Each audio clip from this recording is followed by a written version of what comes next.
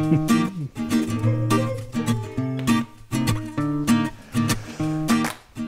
dog, Bo.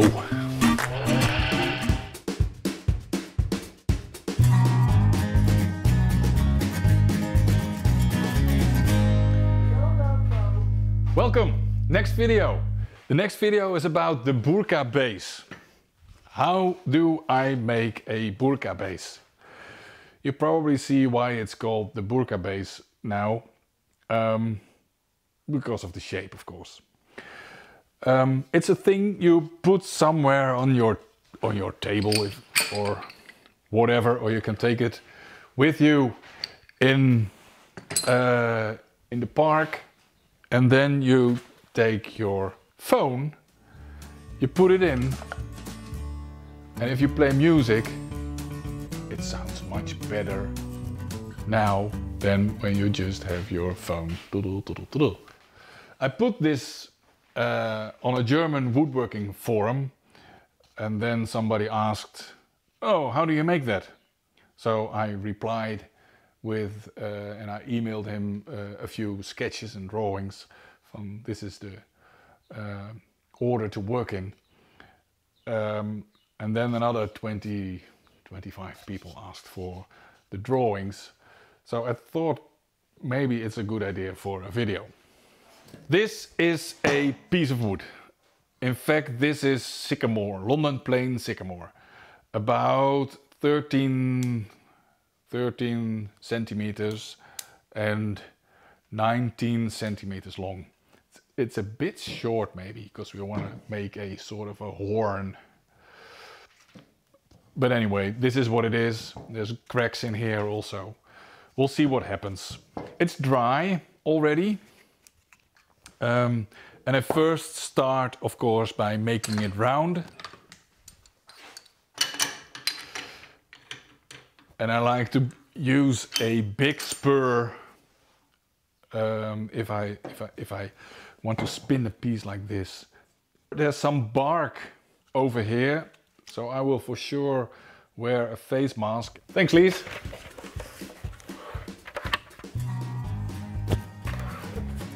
Yeah. People say often that I look much prettier when I wear a face mask. Thank you, dear.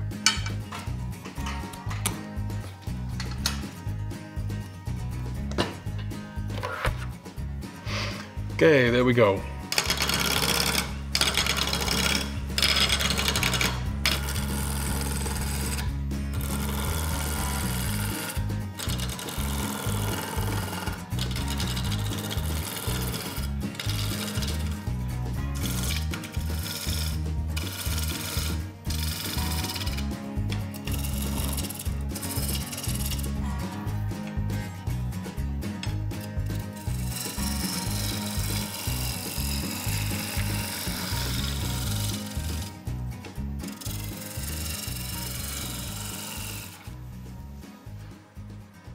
So it is round enough now.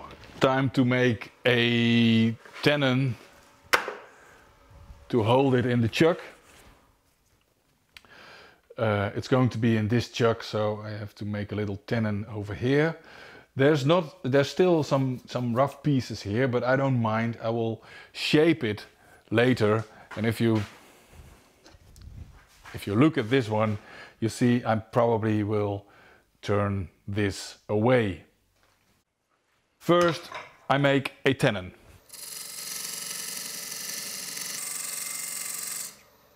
Here's my tenon. As you see, here it's not very deep and here it is very deep, but I don't care. It's about the jaws, the grip around the tenon.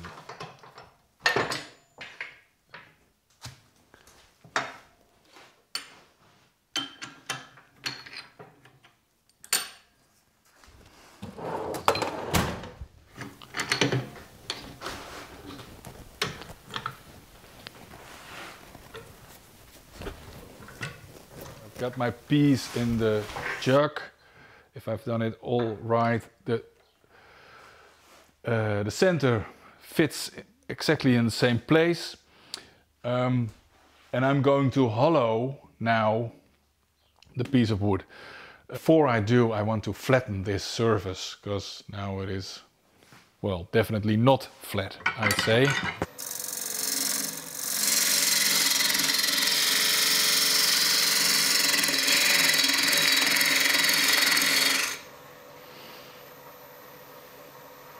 Maybe you have to move over a little bit now, Lise, because this piece is going, coming off. Okay. Thank you.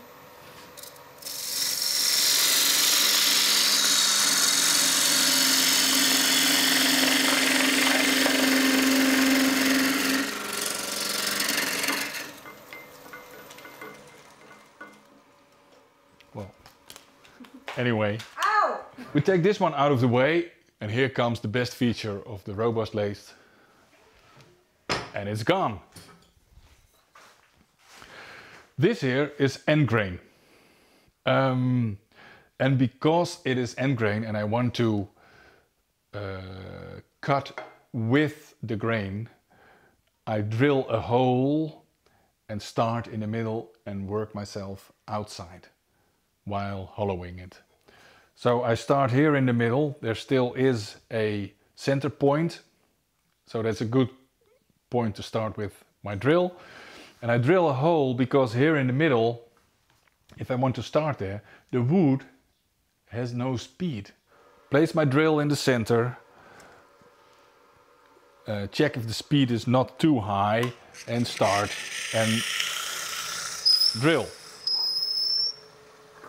I get, I think about every two weeks or every three weeks, I get the question because I, I sell wood turning stuff also. I get the question, Hi Ronald, I want to start hollowing. Which hollowing tools shall I buy? It's always very difficult for me to answer because if do you want to make small work? Do you want to make big work? Do you want to work under a shoulder? And there's lots of tools. Rolly Munro, Crown Revolution. I like to work with the Pro form from Woodcut. If I use it in a situation like this, this steel bar I can go out about this, but I like to use it um, very much inside the handle and I have an extra handle attached to it. So I can hold it like this and there's a very uh, big piece of metal going into the wood. So there's hardly any vibration. That's what it's all about. Let's start hollowing.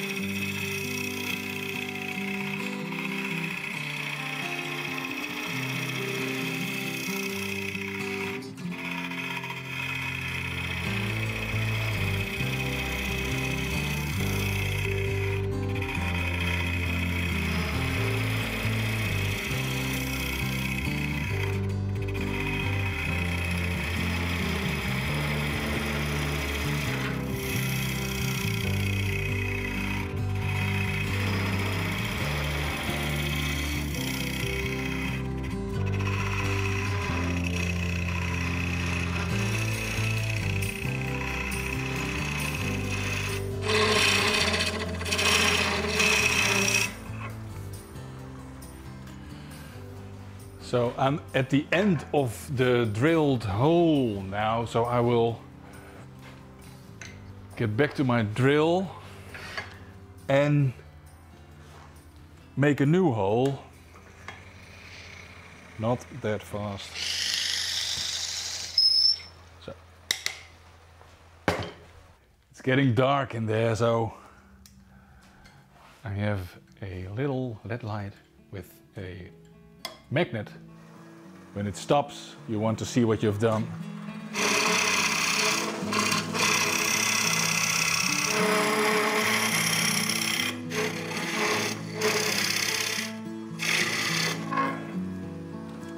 I think I'm about deep enough now. It's more or less rough shaped, I think. I think it's I could go a little bit thinner on the wall over here so that it, it's a bit wider at the end. Uh, and I have to finish the inside. So this is just a rough hole. So I have make I make my finishing cut now.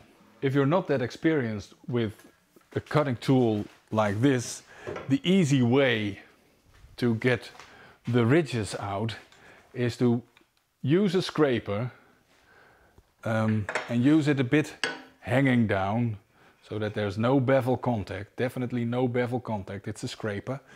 And move slightly, move gently forwards and backwards to get the ridges out.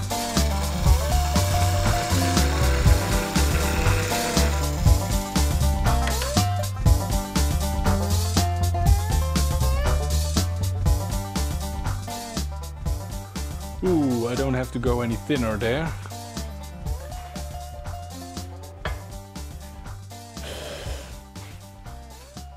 Well, you see, the ridges are out pretty good. Going in a bit deeper now.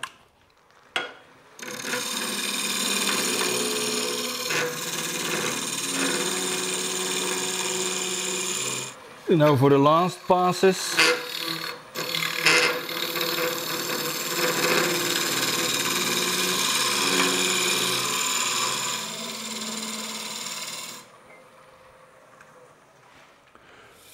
I think we can send. So blow the dust out again. And this is 240.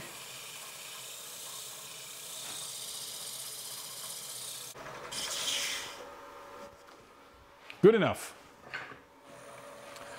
I'm gonna make a deep cut here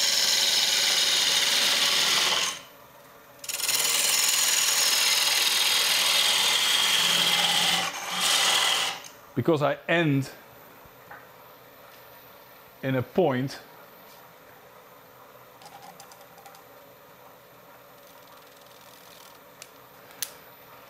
and now I can start making it thinner.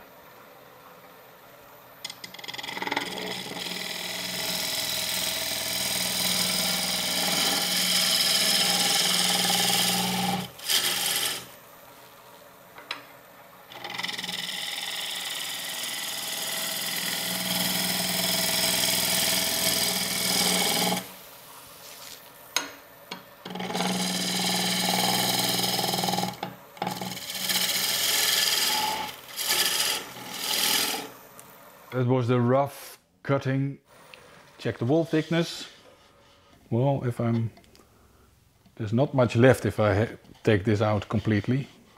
Well, that is about, I'd say about 12 millimeters or something like that. So I'm afraid this is going to stay in.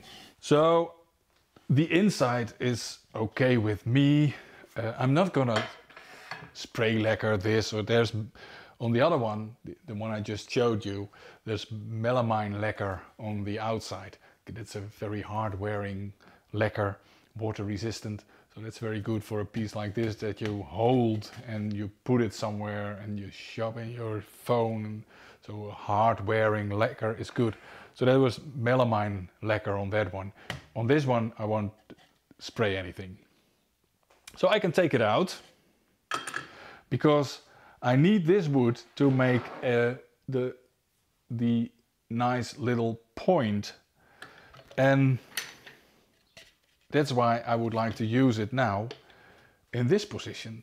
So what I have to do then is make a jam chuck, make a, a temporary chuck where I can, that I can put in here and I can clamp this one on my jam chuck. So I need a piece of wood to make a, a temporary chuck and I always have the, the lowest drawer in my, in my uh, box here is um, full of these pieces of wood.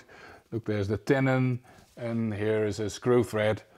I have no idea what I did with it, but I have used it and I will probably use it again. Um, but now I would like to have something, this one will do. I can fit it, I think, in the chuck and make a, well, something that fits in my burka bass on this side. So this piece will do. It'll fit the chuck for sure.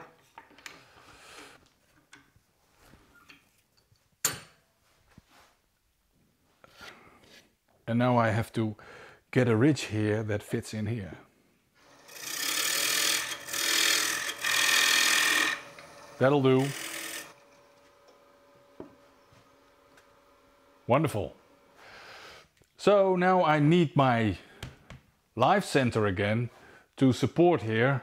So I take my live center back with one finger. Ah, great.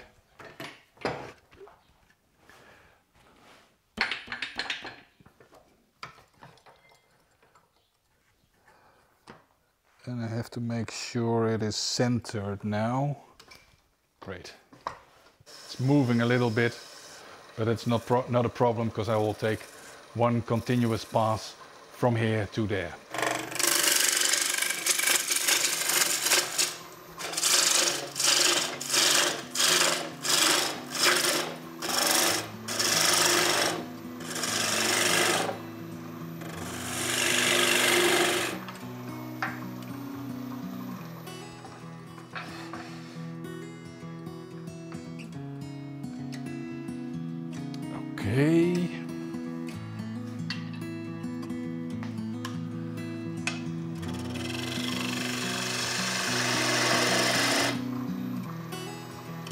The shape is nice. Something like this.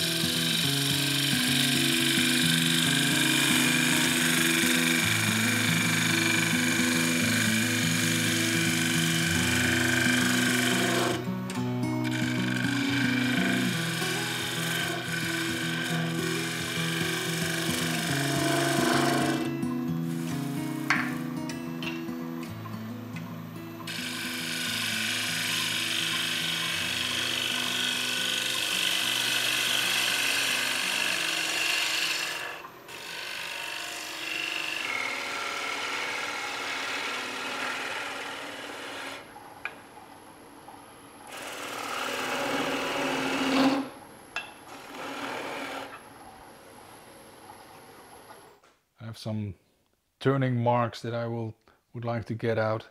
But look at the this part here. It's the quarter sawn material in the London plane it's really beautiful. Time for some sanding.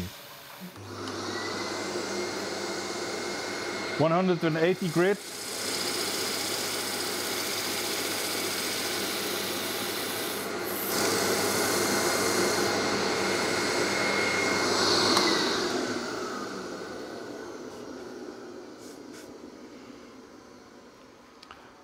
That's good enough. Is it 240? I'm going to make it a little bit thinner here. Put this thing out of the way.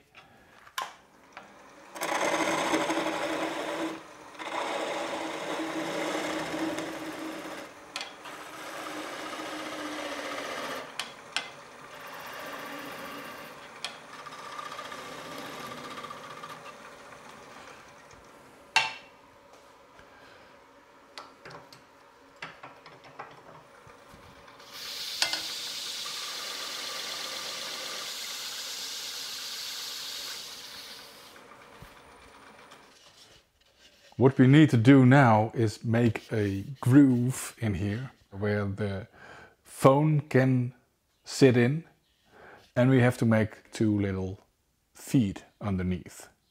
Put this adapter on the live center.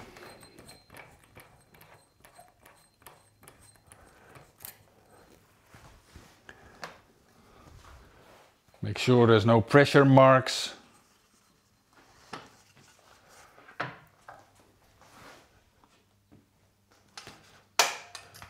Uh, I want to have this side uh, visible, so I make my cut here.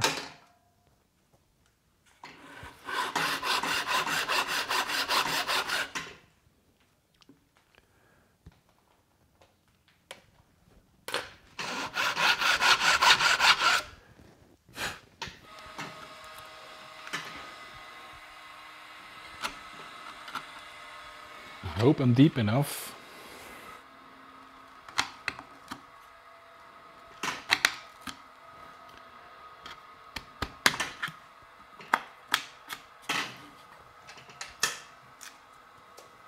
So the speaker of my phone is here. So it's got to be in the burka bass to function. Um, it is. Yep. So send this part. These are going to be the legs of our uh, burka bass. Two pieces of black walnut. As you see, I did not put much effort in them to get them exactly equal. But when they get off the lathe, they, then they are equal. I'm going to glue in a dowel over there. So put some CA in the hole and put some activator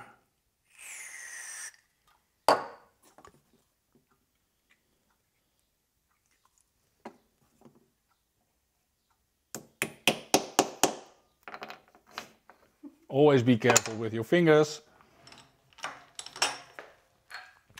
So there's a bit, a little bit smaller chuck and smaller chucks hold small things.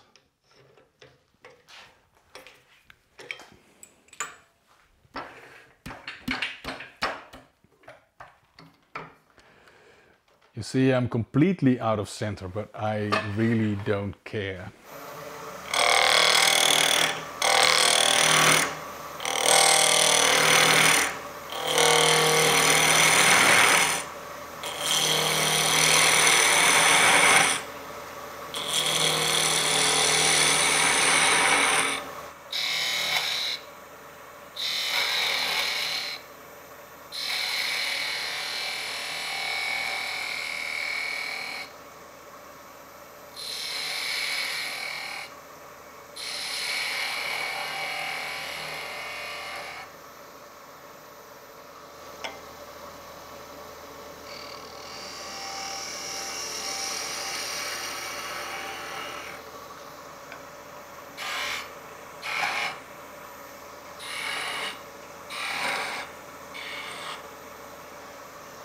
I think that's still a little bit too big. Let's make it a bit smaller.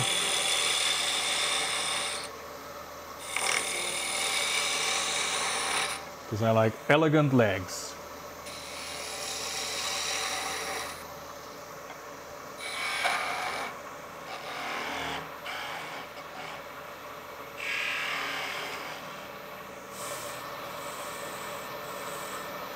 Bit of sanding it's only 240. What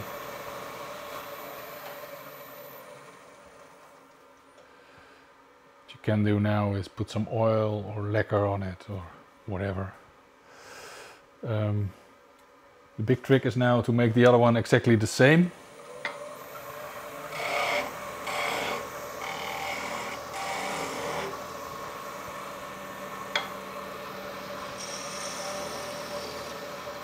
The second leg goes in.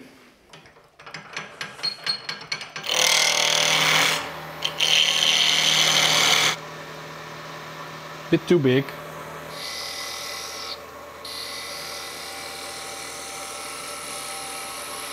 Better be safe than sorry, so let me measure for a minute. It's over there. Good. Wow. This one is a bit thick thicker, right? Mm.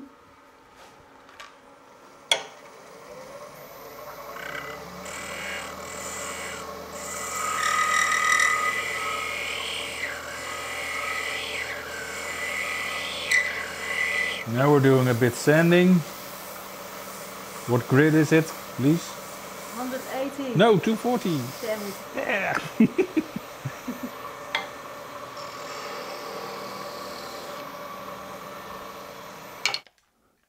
So this is going to be the holes for the legs. Will do. Yep, that'll work.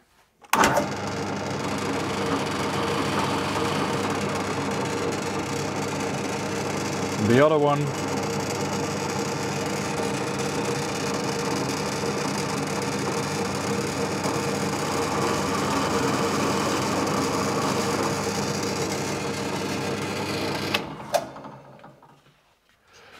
Two holes, two legs,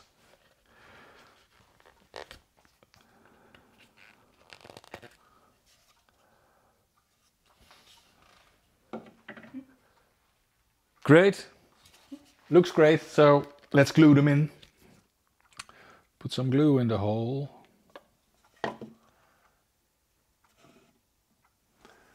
Some activator.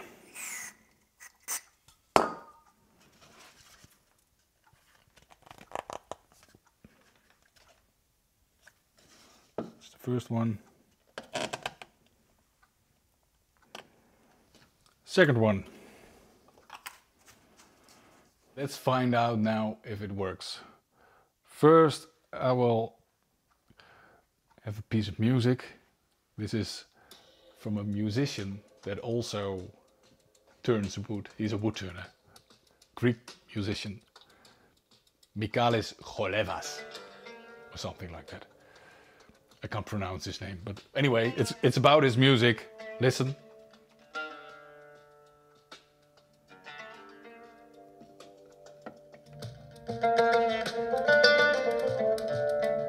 Thanks for watching. See you next time.